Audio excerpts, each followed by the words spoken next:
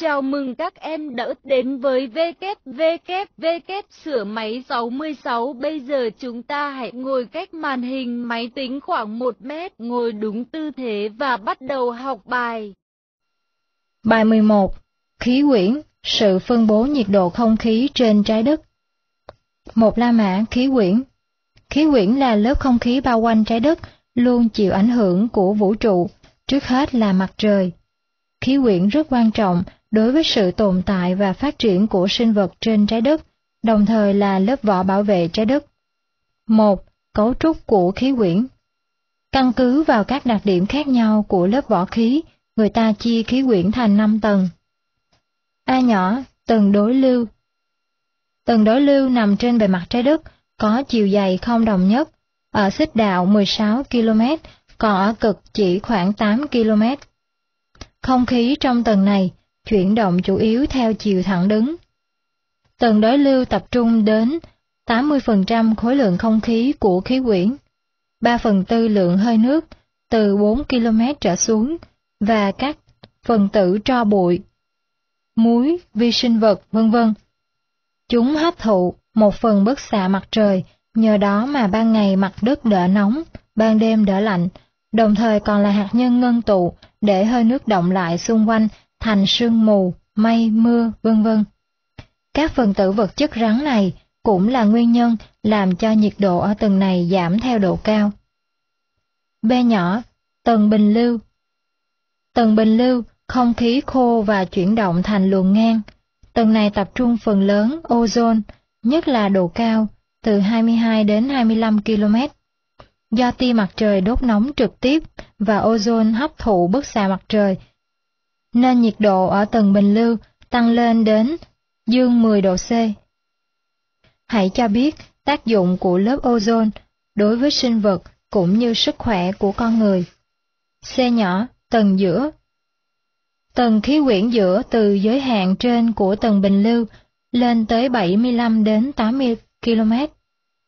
Ở tầng này, nhiệt độ giảm mạnh theo độ cao và xuống còn khoảng âm 70 độ C đến âm 80 độ C ở đỉnh tầng. Giờ nhỏ, tầng ion, hay còn gọi là tầng nhiệt. Ở đây không khí hết sức loãng, nhưng lại chứa nhiều ion, là những hạt rất nhỏ mang điện tích âm hoặc dương, nên có tác dụng phản hồi những sóng vô tuyến điện từ mặt đất truyền lên. E nhỏ, tầng ngoài. Tầng khí quyển ngoài chủ yếu là khí heli và hydro. Không khí ở tầng này rất loãng, 2. Các khối khí Không khí ở tầng đối lưu Tùy theo vĩ độ và bề mặt trái đất là lục địa hay hải dương mà hình thành các khối khí khác nhau.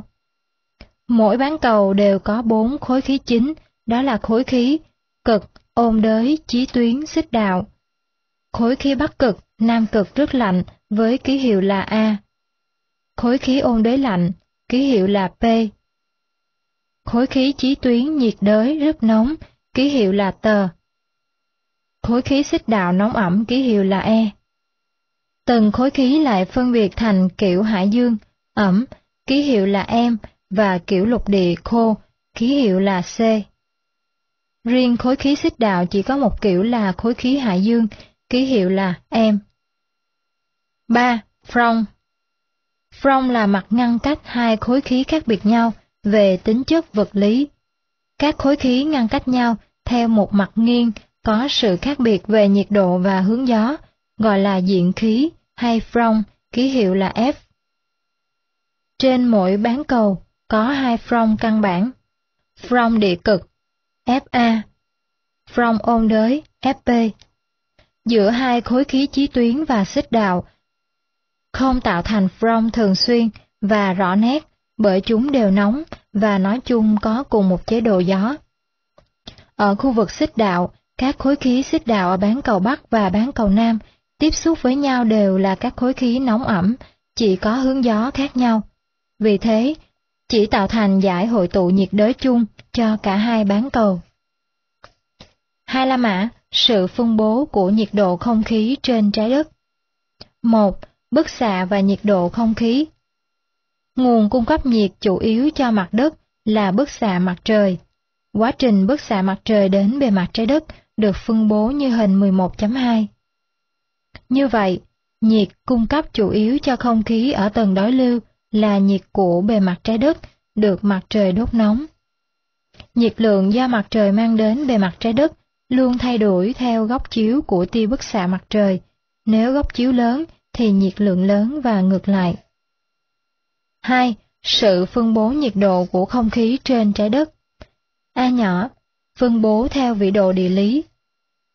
Dựa vào kiến thức đã học và quan sát bản 11, hãy nhận xét và giải thích. Sự thay đổi nhiệt độ trung bình năm theo vĩ độ, sự thay đổi biên độ nhiệt độ năm theo vĩ độ. B nhỏ, phân bố theo lục địa và đại dương. Nhiệt độ trung bình năm cao nhất và thấp nhất đều ở lục địa. Vestcoian, 67 độ Bắc, 134 độ Đông. Có nhiệt độ trung bình năm là âm 16 độ C, người ta gọi đó là hàng cực vì lạnh hơn cực Bắc.